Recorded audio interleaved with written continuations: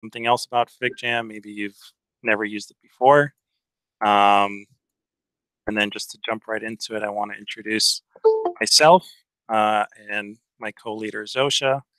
Um, so I'm Rioni Tonic, um, currently working at a risk management um, tech firm called Complex, and I'm the senior uh, product designer there. Um, I'm also a husband and a father of a three-year-old son. I love PC gaming and electric vehicles, um, and I've been using Figma since 2015, um, right before they launched into production. Um, yeah, and then Zosha, you want to?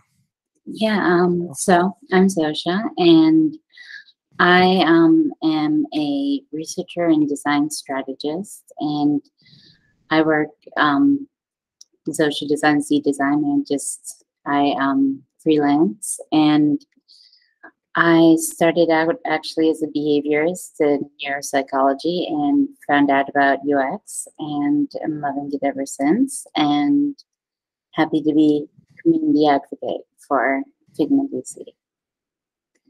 So, um, and I guess we'll move on because yeah. um, I'm not that excited now. um, uh, no, uh, but what uh, we do have a Figma code of conduct.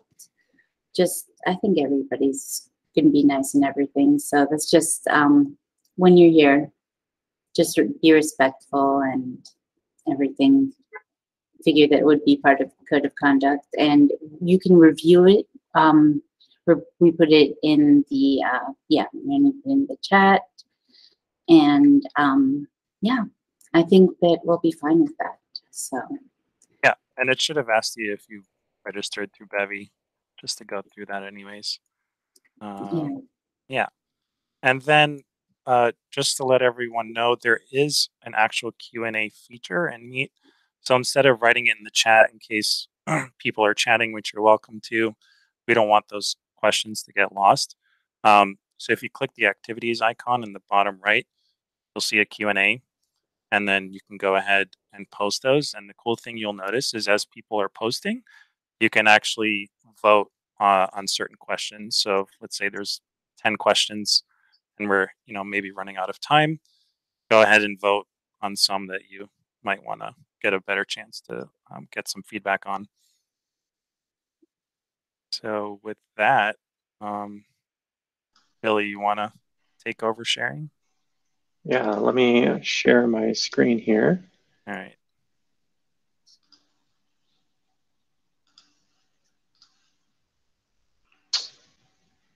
All right. Well, welcome everyone. Uh, my name is Billy Sweetman. Uh, I work at a design agency called Headway in uh, with our headquarters in Green Bay, Wisconsin. I'm the head of design here. We have a pretty big remote team. Our team's kind of all over the United States. We really focus on bringing entrepreneurial ideas to reality, uh, helping uh, with design, development, and product strategy. Uh, I'm married, dad of two girls, uh, designer, love design, uh, live and breathe it. And uh, my background and my previous career was a game developer, so I still do a little bit of game development on the side. But today we're here to talk about uh, FigJam, and I'm very excited to kind of go over just the way we use FigJam and how we've taken it, taken a lot of the things we've done in other tools and kind of folded them into FigJam and kind of go through some of the capabilities and, and things that you can do. And then I've got one fun thing at the end uh, that you can do in FigJam as well, which isn't work related. A lot of it's design and work related, um, but you can use it for a lot of different things. So let's go ahead and get started. So a lot of the work that we do in FigJam right now is um, things that we used to do in all these other tools. Oh, I'm getting some feedback. Oh, there we go. Uh, we used to do in all these other tools. So we used to use Miro a lot for a lot of different things. We used to use Sketch for things way back before we switched to Figma. We used to use Whimsical for a lot of diagramming and app mapping and exercises that we'd run on our design team. Google Drawings way back even before uh, Whimsical. And then we used to do some of that stuff in Figma. And the nice thing for us is we're always trying to look to reduce tools and we're trying to lower the um, cognitive load of things that we all have to remember how to do and really make it so a lot of our tools are integrated together and can work easily with the stuff we're already creating. And FigJam really allowed us to do that in a lot of different and unique ways. And we know it's still in early sort of access and beta as it's as it's just getting launched out here. But it's kind of cool to see some of the stuff you can already do with it and um, the potential of where it's going to go. So like I said, we replaced all of these uh, other tools to do a lot of the exercises that we would do during our design process. So one of our big things that we do with our product strategy team is we spend a lot of time doing customer user or customer interviews, user interviews, problem interviews, solution interviews, and a lot of that is really just going and using note cards, uh, little post-it notes digitally all over the place, two or three people in a meeting, collecting all their thoughts and putting thing putting things down. Then our design team takes that information and we put together these customer goals and theme matrix. And we really use these to inform our customer journey mapping, inform our app mapping, see if there's any threads that we think are um, really important to, to go after on the design side. Um, and with that, we just use their generic note cards uh, or the sticky notes. So FigJam has a whole series of sticky notes that you can grab down here, uh, you can also use the shapes if you want to, to enter text and things like that. You get different color options for the sticky notes. We build out templates like this for us to start off with. So that's kind of a cool thing that FigJam allows us to use is a way to create a bunch of different templates right away. So we'll have a customer goals and themes matrix, and this is built out. We might have four or five in here. We might identify certain themes. The example app we always use is an app called Squad Up. It's a way to find uh, other people who want to play soccer with you. And we might say, like, a theme might be it's too far. And we might start capturing different customer feelings and emotions that they wrote down during their, like, I don't like to drive far and we'll capture some of that stuff in these in these themes and put it in there. One of the cool things that just built into the FigJam tool is uh, you got different stamps that you can pull in. So we can pull in different stamps and put those on things like, hey, you know, we really like this. We really want to go after this thread. And we can use this to do asynchronous communication. A lot of times post um, an interview, we might have a little debrief session put some notes together. And then there might be some asynchronous thought. I'll come back afterwards and add some more notes here, maybe pull something in from their, their predefined sticker library to um, add some additional flair or detail to really call it out in there. After this exercise, another thing that we use FigJam for is going through customer journey mapping. So customer journey mapping, we'll kind of get all that information in those themes and we'll start to build out these journey maps. We've built out um, these initial title cards. These are all brought in as Figma components. You can actually bring components from your Figma files into FigJam, which is a really cool way to build some custom things that you might need, custom backgrounds for different workshops you might need to run, or just bring in your screen designs or your wireframes. So we'll go through and we'll start to like I said, lay out these customer journey maps. And we'll build them out similar like this. Some might be very complicated where we've got customer goals, stages, and activities, features, and data. Some might not be complicated at all, and it's just the stages and activities. But the nice thing in here is we can quickly add, add different things in here, continue our customer journey map, and keep building out that journey map. And our entire team can in here, drop comments, also drop stickers, you know, if we draw comments on there, the this is too complicated. Make it easier. Can't type tonight, but uh, you know, that way we can communicate asynchronously and you get this nice comment thread on the side. So as we're going through our customer journey map, we can bring all this stuff here and really have that central hub of information. Another cool thing when you are working through either your journey map or your uh, customer themes and matrix, you can copy and paste directly into your Figma files from here. So you can grab all of this and paste it into your Figma file. So you can have that information right there and while you're working on your designs and bringing that stuff in. Another exercise that we use FigJam and tools like FigJam to do is app mapping. This happens a lot after our customer journey map has been decided and we've gone through and we've developed out sort of uh, some of the key features that we think we need, some of the key data that we want to capture. We'll go in and start to build out an app map. And we actually built out all these little components in Figma and brought them in.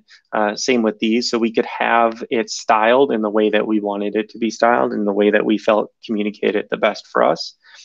And it's kind of cool on how you can bring, like I said, all this stuff in, and we can create these different versions of these cards um, using things like auto layout and setting all that stuff up, setting up our different type styles, and just bringing all that uh, into here into FigJam.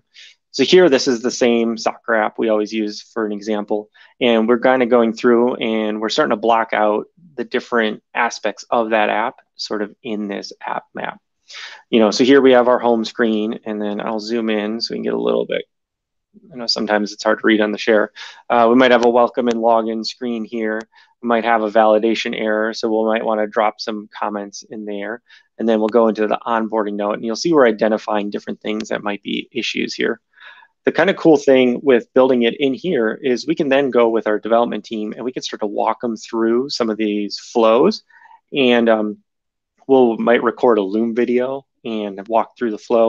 And they might come back and drop in some sticky notes and said, uh, and say different things that they might need to know about here, like on the welcome and login screen. Are we, you know, uh, let's just use Google and Apple ID. And our development team can drop these notes in here and we can have conversations asynchronously while we're going through this process like I said before, all of these were built in Figma and we just brought them in um, by you can copy and paste them in, or you can get access to libraries just like you would normally in your Figma file. So you can build out different micro components to drop into here and really utilize a lot of the power that Figma has in FigJam. The reason we did this for this specific exercise with the app maps and the little micro apps uh, is we want to convey some thought of what the UI might look like, but we didn't want to go as far as wireframing. And that's why we built out these little micro apps and brought these in here these micro screen layouts. Another thing that we want to communicate is different steps along the process. Now you can do this, right? We can mix and match different components right from FigJam itself. So we can have a card like this that says, uh, let's say, uh, select sport. We can mix and match right inside our your different Figma components and your FigJam components, uh, which is kind of cool. So if this flow diagram turns into a little bit more of a process diagram, and we need to have some more of those traditional uh, user flows, uh, shapes, we can drop those in just by getting them from here.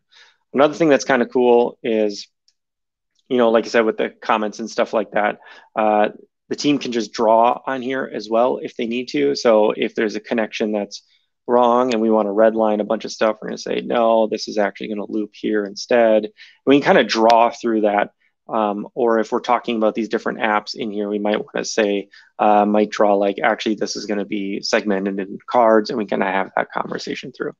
So the tool really provides a lot of different things for these exercises that we would norm normally go through. Hey, Billy, can I pause you for a sec?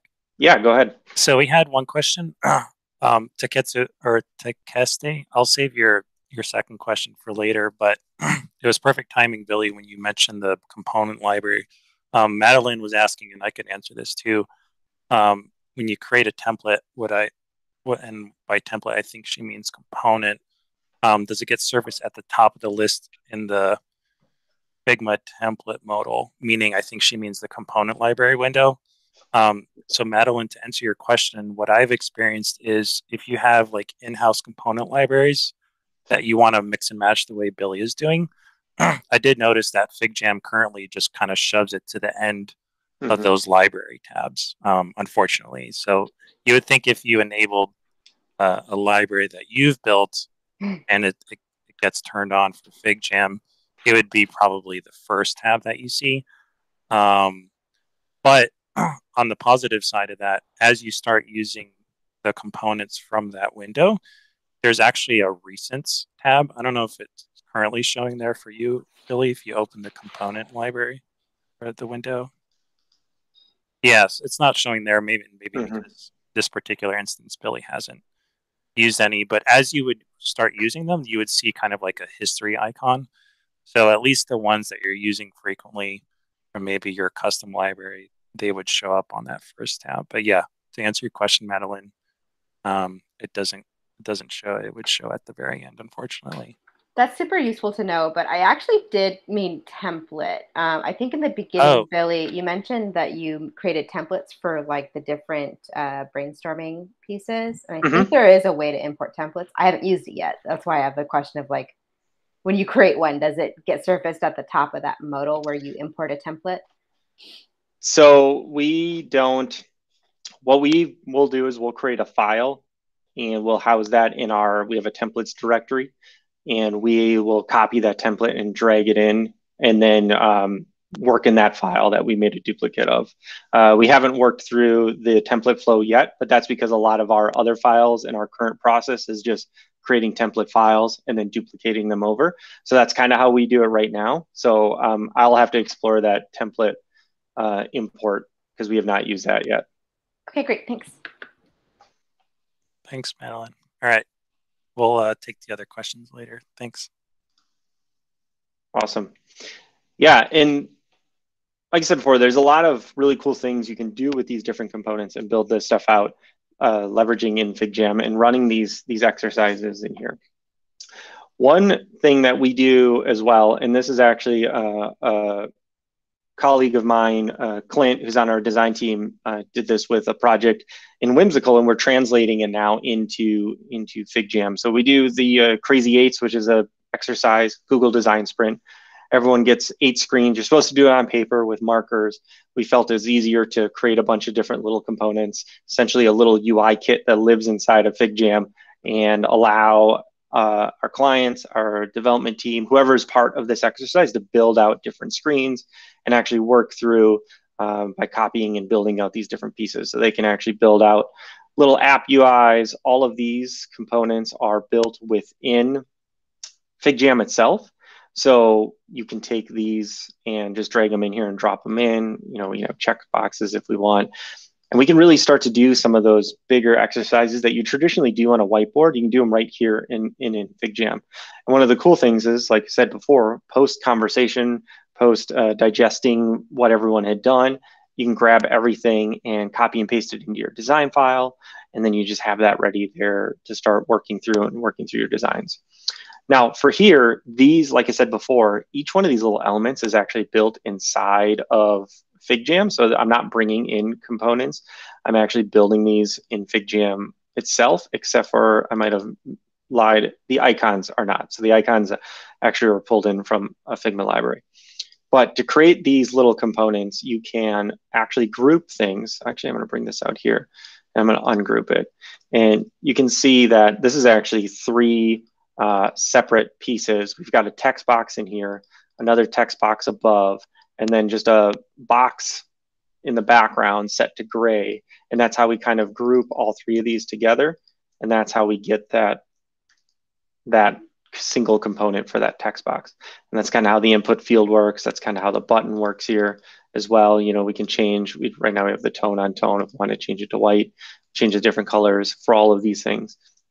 So it's kind of a, a cool way to do a exercise as a team that you would do normally just drawing real quickly asynchronously or everyone in the multiplayer experience building out the crazy eights and putting those screens together also going through exercises like this then you can also do uh, like dot voting figma actually provides a bunch of things in here you know like this this flowery one is is pretty cool so we can drop that in there and say this is my dot vote for this one we can put those in there as well. So we can also do the dot voting exercise that you might do right after this in FigJam. These uh, phone backgrounds as well. So this is another thing, a component that we brought in. We just needed generic phone background. So we built that in Figma and dropped it in here. You could do that for a, you know, uh, a web browser or anything else like that. um, to do this for all the different uh, exercises you might want to do. The other thing that you could do is a progress tracker or uh, showing different ways different screens interact and work. This might be something that you would do inside of Figma, inside your design files. There's a bunch of little components you can get that show like tap movements or uh, slide movements or swipes or pinch and zoom. You could bring those in here. This is just a quick mock-up of screens that were brought in. So if these were, if there was a library hooked up, it's not because these are in my from my work account and this is my personal account. But if this was a library hooked up as the screens update, just like in your Figma file, you would update in your FigJam file, and then these would update with the latest designs, the latest uh, look on the screens, the latest UX, and you can see all of that right here. In here, then you can also communicate status of where these screens might be. So you can say this is design, is now in development, design is done on this screen here. And we can also, like I said, communicate different interactions and how those lead to those different screens. One of the cool things too is you can actually drop links just like you normally could. So here we're just linking to Google, but if we had documentation about this screen or if we want to link back to the Figma file, we could do that as well here. This is really helpful, especially when taking your app map that we kind of built out before and transitioning it once screens become a higher fidelity, start pulling some of those things in here, and we can start to get an idea of what is done, what's not done, where the status of Uh, of an app is. We've had a client in the past ask us to do this for their entire product. So it was over 50 some screens that we had to put out, show where they all are, link them together for the designs, the status of them all. And we had to do that in Whimsical. And it was actually very, very painful to do in Whimsical, but here you can build out some nice components. You could build out status cards here on the side as a component, bring that in, and really have a nice clean way to show all that stuff. And then it's going to update from all your latest design files. And you don't have to actually worry about waiting for a new screenshot to get pasted in. It's just going to let you know if as long as someone publishes that. Another fun thing that you can do, and sort of the non-work related to, is you can also play games in here. So uh, you know, you can play games like Dungeons and Dragons. It's got a grid in here. There's a conversation on Twitter a day ago about uh, what are things that you've used Figma for.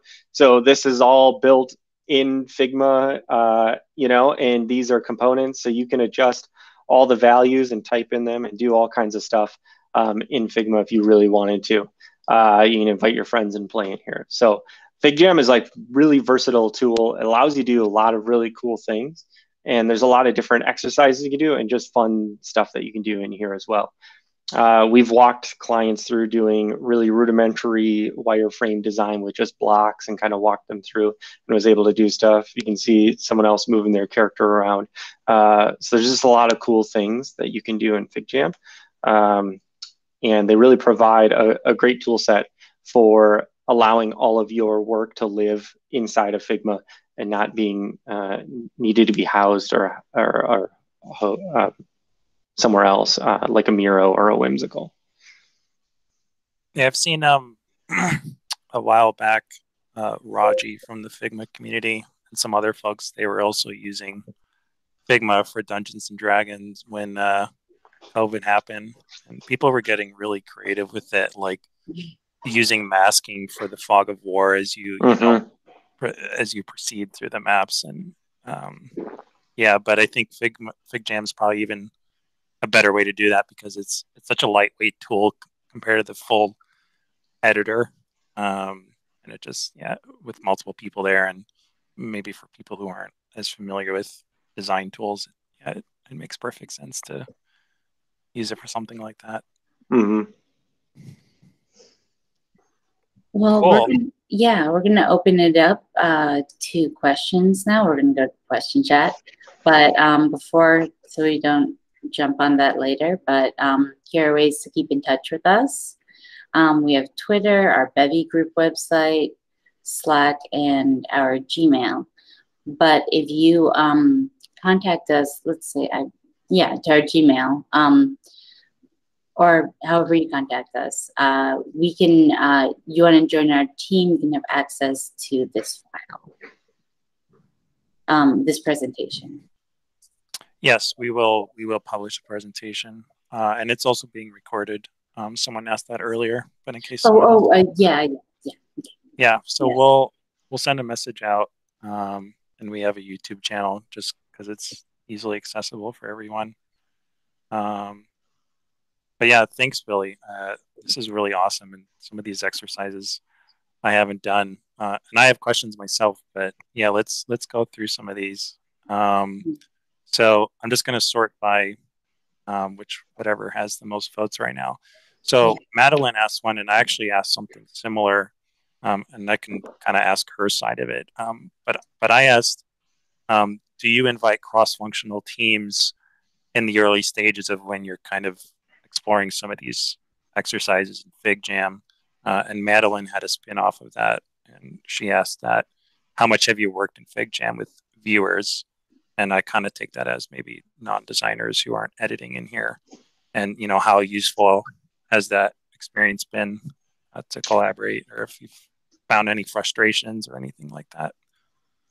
Yeah, it's a great question. Um, I'm a big fan of let people in right away. So our whole process in in everything we do is um, clients, the developers, the product strategist, the all cross-functional team. Everyone has access to everything from day one. So we are letting everyone look at where we are in the design process, where we are in doing different exercises, where we actually encourage a lot of like leave comments. Um, we want you to be involved in the mood boarding process with us. I find that the sooner we can have those conversations with the stakeholders and the team, the better the understanding of what we're going to build at the end is going to be. And we can really resolve a lot of things that might come up later early on. One of the uh, one of the greatest stories, and it's it's not really my story, but uh, our designer Clint who did the Crazy Eights exercise, bringing the development team in to do that with the stakeholders, really built a bond on that specific client team um, and really helped create this shared vision instead of being sort of a waterfall, design it, and then go develop it. Um, so we really like to encourage bringing people on as early as possible. Even so, like, you know, if I just need to work through an idea, we might jump into FigJam, just block something out really crudely and say this is the structure I'm thinking of, uh, just to get just to get an idea and help us build that that common language. Yeah, um, when FigJam launched, and I saw an opportunity to start using it with um, some product owners, even engineers, during one of our regular ceremonies. You know, everyone's kind of used, or most people have used some kind of like virtual whiteboarding tool, whether it be Lucidcharts, uh, Google Jamboard, um, which I find funny that FigJam used the word FigJam and Google's is Jamboard, um, and Miro and, and some others. And it didn't really take them that long. You know, they they had a, a few initial questions just when they were getting used to the UI and they're trying to figure something out and getting frustrated. But then, you know, 30 minutes in, the questions kind of stopped. And even just for basic level of, of usage, it was enough for them at the time just to collaborate in a virtual white space. Um, and yeah, it was it was really helpful. And of course, um, it's easy to access because once people are using Fig, Figma, they under you know they know how to log in and access those projects, and they don't have to go and hunt for a link that was shared in Slack or an email or something like that. They can just go to the the space that they're in, whether it's the team, and, and, and just find that file again. Yeah, and it's nice that it's uh, interface because the people are kind of used to um, that Figma non-designers not as used to, and uh, this interface is much easier to communicate with people who might not be a designer. Because I always have that kind of open, try to keep things open and share, and then sometimes people would have trouble communicating through Figma. So it's a great tool. Yeah, I think they, they did a great job with onboarding and keeping it minimal, which you know you, you come into other tools and the toolbars and the main features kind of surround the entire window sometimes, and it, it's it's less intimidating. Mm-hmm. Say that, yeah. Um, Madeline.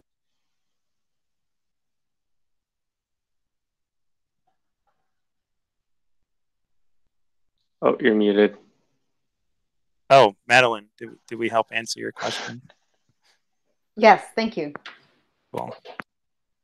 Um, all right, let's go down the list. Oh yeah, Anna asked a little while back, um, how might you approach versioning of design ideas so as the app mapping evolves and you want to go back to revisit how it looked earlier?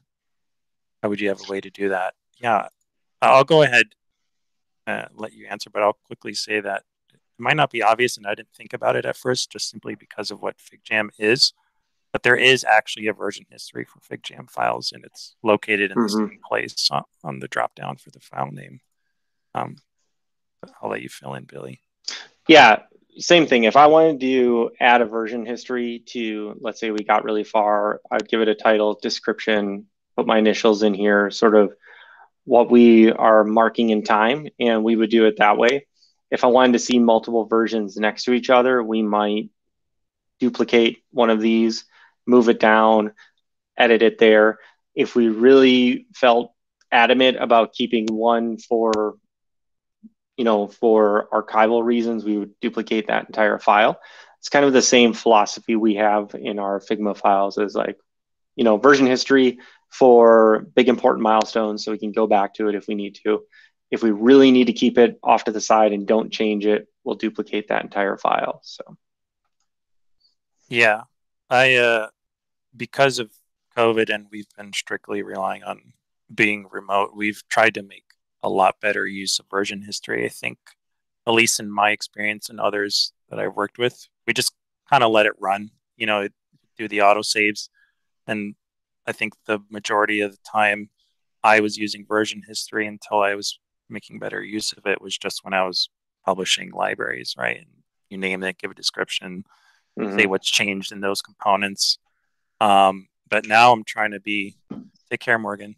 Um, I'm trying to be a lot more collaborative with like my engineers and maybe my PMs who need to understand the differences that are happening. And maybe there's multiple features being worked on at the same time that happen to be in the same file, or there's multiple workflows. So we'll, you know, give major versions, like you said, a meaningful description.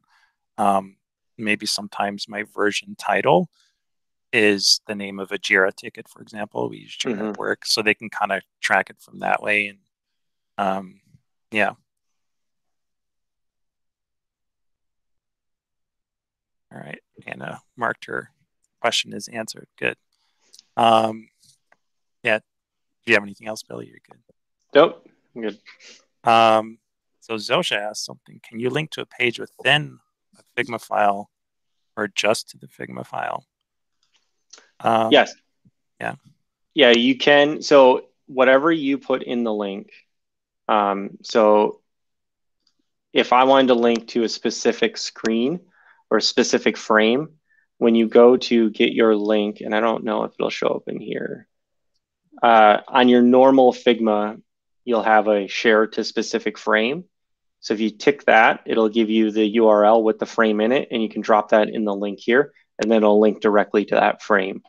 So that way you can link directly to a specific frame in in any in any file you have access to. Perfect. Thank you. Yeah, and one thing to note about that is um, it stops at the root frame level. So you might have, um, like, let's say Billy's process tracker group of objects uh, was a frame, but you wanted to point directly to the selected screen that he has, the squad up one, um, it won't go that deep. Mm-hmm. It'll just open the file and then it'll point to that root level frame. So if you need to do that, you might need to like, I don't know, make a little trick with like a transparent box and put it over the frame, or just point to the frame and annotate it and make sure people know what you're trying to point to exactly. Um, yeah. But just keep that in mind. Um, see. Oh, the Keste. I hope I'm saying that right.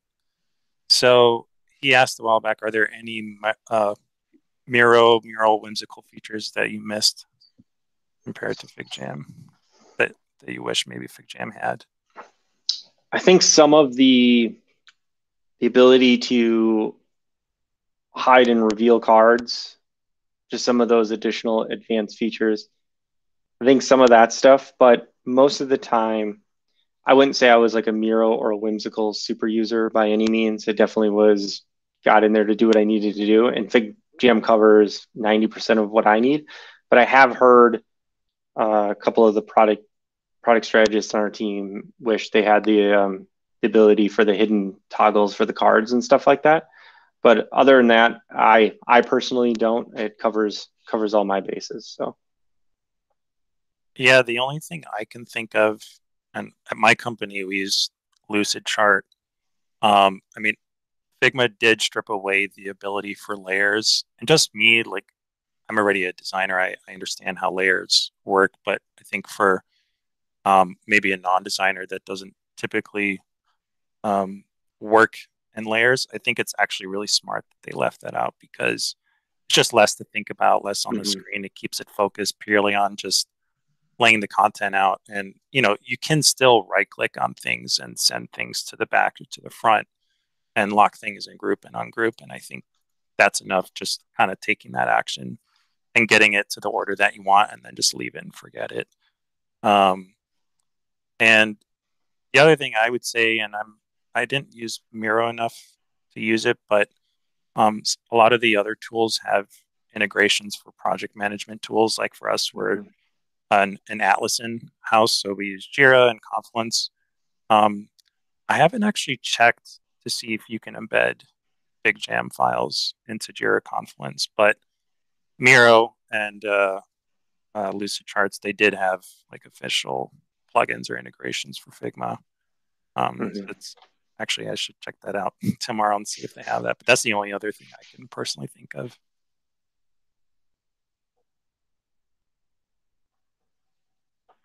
All right, and then oh, Takeste also asked. Maybe you can clarify. We remember what you're talking about, but he asked, "Do you manually count the votes, or is there a better workflow?" You're talking about like for the stickers. Yeah, the uh, yeah. We'd probably we would manually count them if we were doing dot voting. Uh, normally, there's not enough people. Uh, if it was like 40 people, that might be pretty cumbersome to count all those. But normally, it's like yeah. eight or nine. So, yeah. There's um, there's a really great resource. I'll sh- find it and I'll share it in the chat on the community. Um, that someone published. It's a sticky notes library and it actually has a voting feature built into the components. Um, so it has a variant property, and you can vote up to like it might have like ten, maybe less than ten, and it's super helpful. Um, so sometimes I've been using that if we want to vote, because as Billy touched on, you can import pretty much any library that's compatible with Figma, and then you just enable it for FigJam, and you can drop it in there and you mix and match. Um, so I've used that if I wanted to do voting, but yeah, if you're going to go more than like 10, you might want to use another tool or something just to keep track of that. Yeah. And, yeah. and one thing I hope they do add is the ability to adjust variants inside of FigJam from your components. Because you'll mm-hmm. notice the way I've got these, my app map cards set up is these are independent of each other because uh, I couldn't, at least when I first built this, I was not allowed to change the variant of the little app when it was connected to the card. So, yeah, I experienced that as well. And I feel like, I don't know if it's a bug, but I feel like sometimes it shows and sometimes it doesn't. Um, I don't know if what you've experienced, but I feel like the libraries that come with FigJam, which obviously were made by someone else, but it's kind of baked in to the components library.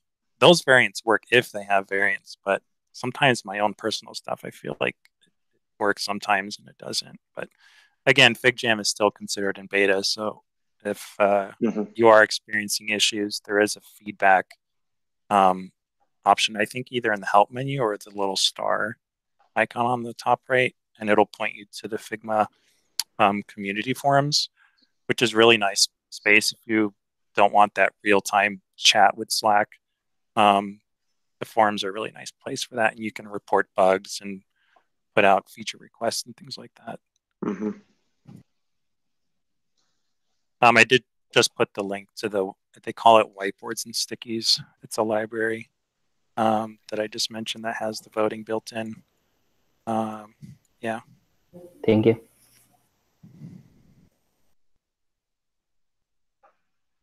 Um, Madeline asks about working in FigJam with viewers rather than editors. How, uh, if you've done that and how useful it is as a collaborative experience. Yeah, viewers.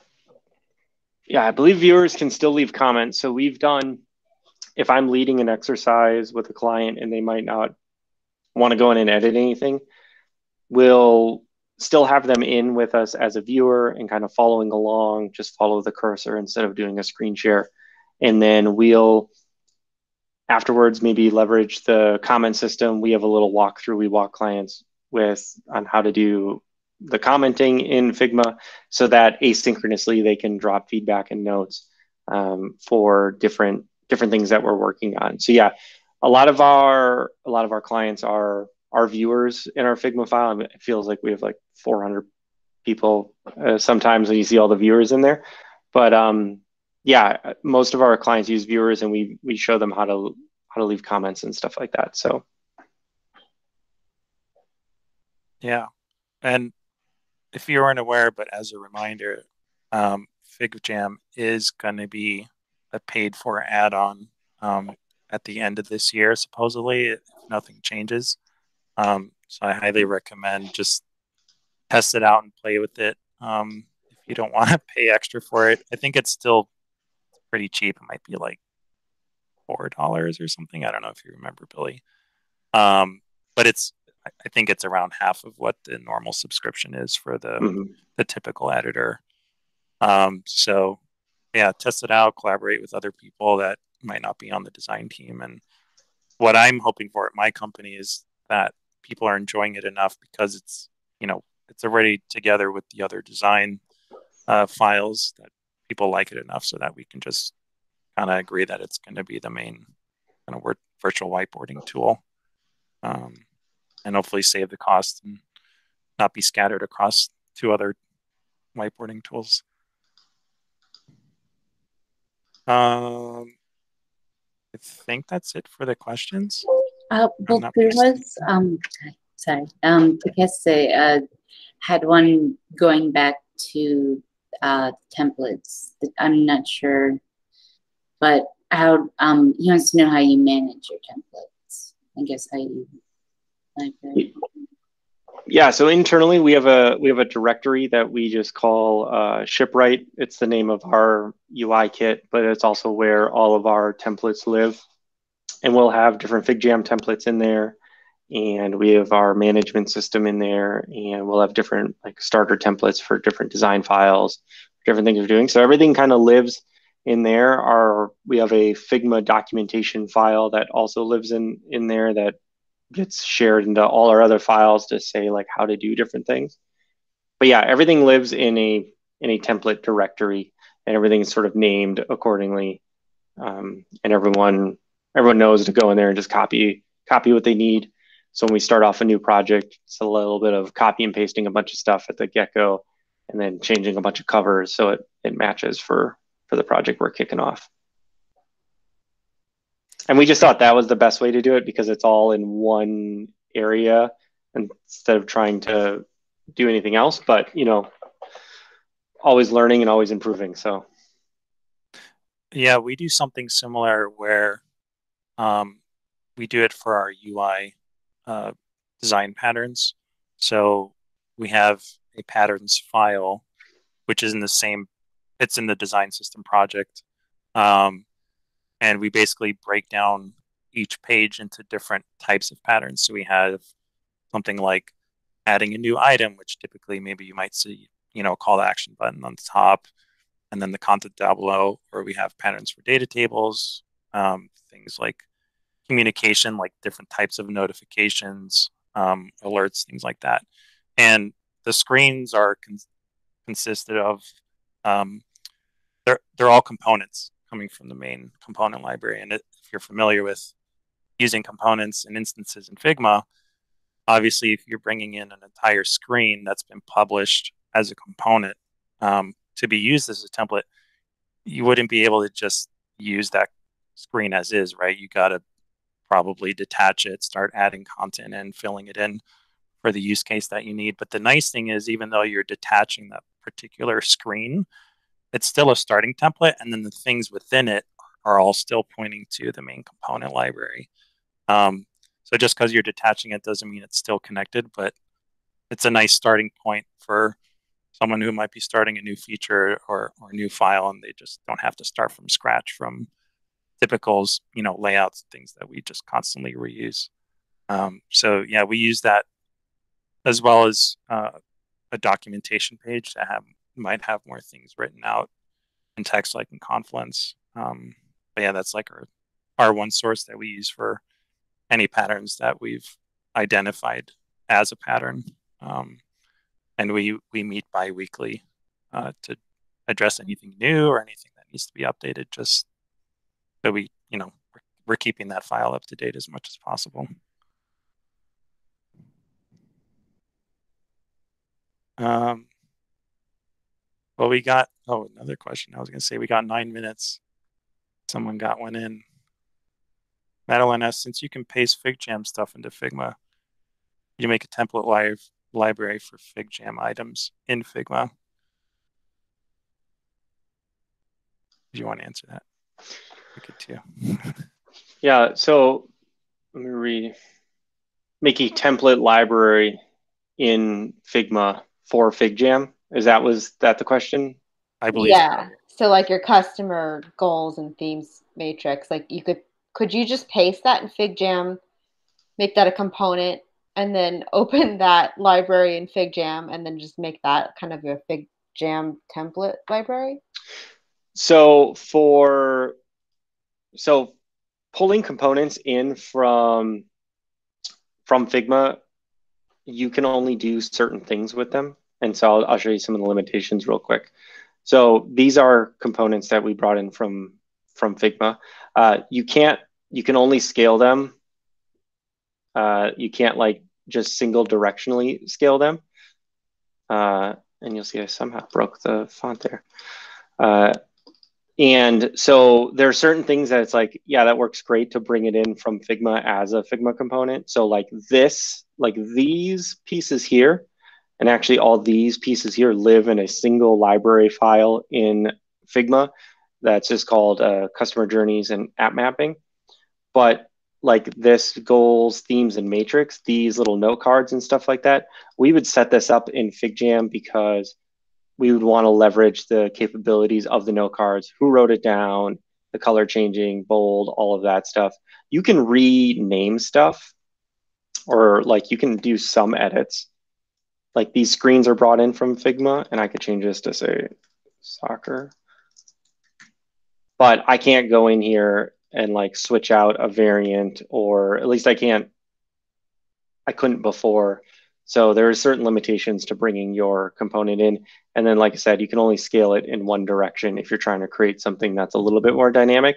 And that's why like these here, these were all built in FigJam instead of building these in FigJam or in Figma.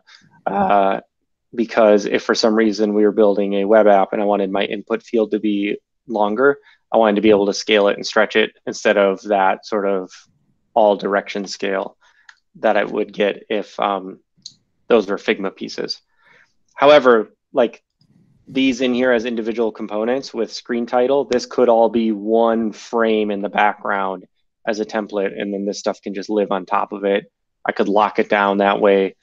People could still click in and rename things. So there's like you have to kind of make some of those tactical decisions as you're building out different pieces and where that stuff lives.